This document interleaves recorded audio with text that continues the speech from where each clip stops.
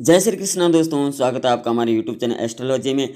आज हम बात कर रहे हैं कि बारह राशियाँ, यानी मेष, वृष, मिथुन, कर्क सिंह कन्या, तुला, वृश्चिक, धनु, मकर, कुंभ मून मीन। इन बारह राशियों का इष्ट देवता कौन सा है? जब हमें पता हो जाता कि हमारा इष्ट देवता कौन है, हम पर किस देव की कृपा हो रही है तो हम उनका पूजा अर्चन करने से, उनके उपाय करने से अपने ग्रहों को मज़बूत स्थिति दिला सकते हैं। क्योंकि ग्रह मज़बूत है तो जीवन समृद्ध हो जाता है धन धान्य की वृद्धि होती है ऐशो आराम उसको प्राप्त होता है, करियर में सफलता मिलती है, कामयाबी उसको मिलती है, तथा हर जगह, हर कार्य उसका सही दिशा पर चलता है। तो आप जानिए, आपकी राशि का इष्ट देवता कौन है? आज से उनका पूजन प्रारंभ कीजिए। तो बात करते हैं मेष राशि। सूर्य देवता तथा गायत्री देवी आपके इष्ट देव है। इनका पूजा अर्चन तथा उपाय करने से आपको लाभ प्राप्त होगा। दूसरी राशि है वृक्ष राशि।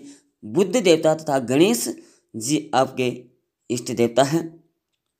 इनका पूजा अर्चन तथा करने से आपको लाभ प्राप्त होगा। तीसरा राशि मिथुन राशि। शुक्र देवता तथा माँ दुर्गा आपके इष्ट देवता है। इनका मंत्र उच्चार तथा पूजा अर्चन करने से आपको लाभ प्राप्त होगा।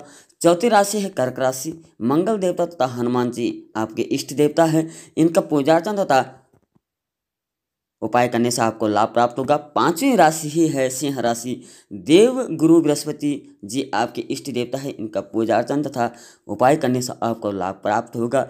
छठी राशि है कन्या राशि। शनि देवता तथा शिव जी आपके इष्ट देवता है। इनका मंत्रोच्चार तथा उपाय करने से आपको लाभ प्राप्त होगा। सातवीं राशि है तुला राशि। शनि देवता तथा शिव जी आपके इष्ट देवता है, इनके मंत्रोच्चार तथा पूजा पाठ करने से आपको लाभ प्राप्त होगा। आठवीं राशि है वृश्चिक राशि।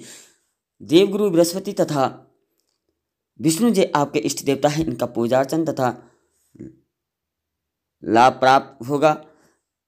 नौवीं राशि है, धनु राशि। मंगल देवता तथा हनुमान जी आपके इष्ट देवता है। इनका पूजा अर्चन करने से आपको लाभ प्राप्त होगा। दसवीं राशि मकर राशि, शुक्र देवता, माँ दुर्गा आपके इष्ट देवता है। इनका पूजा अर्चन करने से तथा आपको लाभ प्राप्त होगा।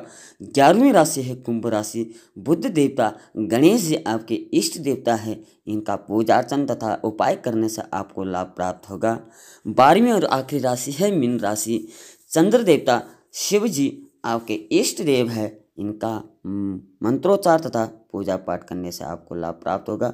आप समय समय पर इन देवताओं की पूजा अर्चना करते रहें, क्योंकि अगर इनको मजबूती मिल गई तो आपका ग्रहचार सही दिशा में सही गति आपको प्रदान करेंगे। आज के लिए इतना ही। जय श्री कृष्ण। राधे।